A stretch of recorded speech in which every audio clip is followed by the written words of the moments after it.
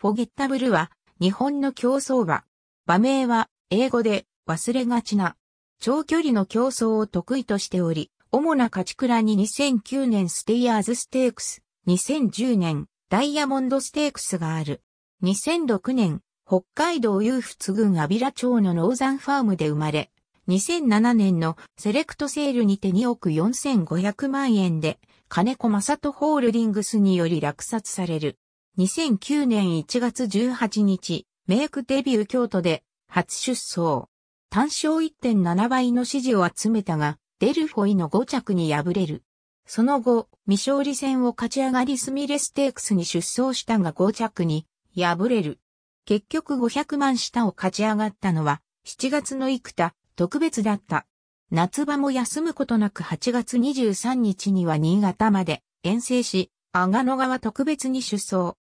勝った名村クレセントからは5馬身離されたが2着に入り、セントライト記念でもなんとか3着に入着して、ギリギリのところで、菊花賞の優先出走権を獲得する。菊花賞は7番人気だったが、7番手でレースを進めると直線で抜け出したスリーロールスを追い詰め離さ2着に入選。なお、勝ったスリーロールスもダンスインザダーク産駒であり、同種牡馬による産駒のワンツーとなった。その後は第43回ステイヤーズステークスに出走。新たにクリストフ・スミヨンを鞍上に迎え重賞初優勝を果たし、有馬記念に駒を進めた。しかし、スミヨンが騎乗停止で有馬記念に騎乗できなくなったため、クリストフルメールに乗り換わると、大外16番枠だったが、最後の直線で見せ場を作り4着に入った。明け4歳の初戦は、2010年2月14日のダイヤモンドステークス。安城は前年8月以来の竹豊で、ベルウッドロッツェに1馬身1、4差をつけて、ステイヤーズステークスに次ぐ、重賞2勝目を挙げた。自走は、阪神大賞点を予定していたが、天皇賞に出走できる範囲の獲得賞金をダイヤモンドステークスで加算したことに加え、これまで数多くのレースを使ってきたこともあり、万全の状態で挑むため天皇賞に直行することになった。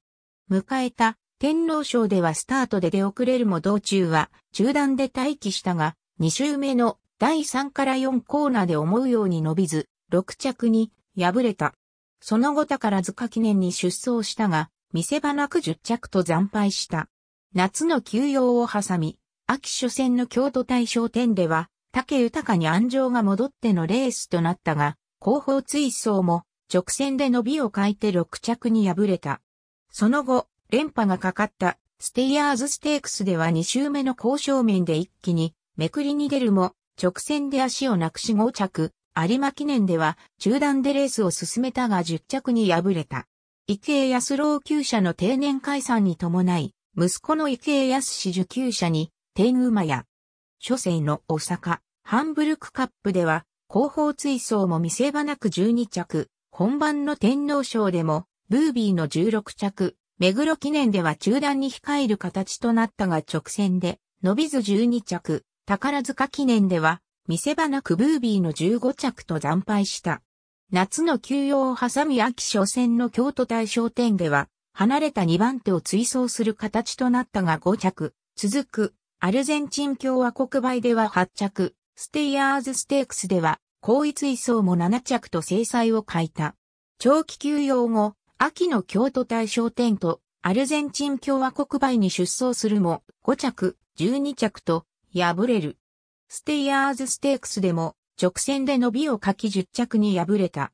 1月の万葉ステークスから指導し6着。その後ダイヤモンドステークス、阪神大賞典、天皇賞と出走したが勝てず、6月1日付で競走馬登録を抹消した。引退後は、ノーザンホースパークで乗馬となる。母に GI2 勝のエアグルーヴ、祖母に優駿牝馬優勝馬のダイナカール、半姉にエリザベス女王杯2勝のアドマイヤグルーヴ、全兄に2004年のセレクトセールで4億9000万円で落札された。ザサンデーフサイチ、半姉にポルトフィーノ、半弟にクイーンエリザベス2世カップ優勝馬のルーラーシップ、半妹にマーメイドステークス優勝馬のグルベイグがいる。ありがとうございます。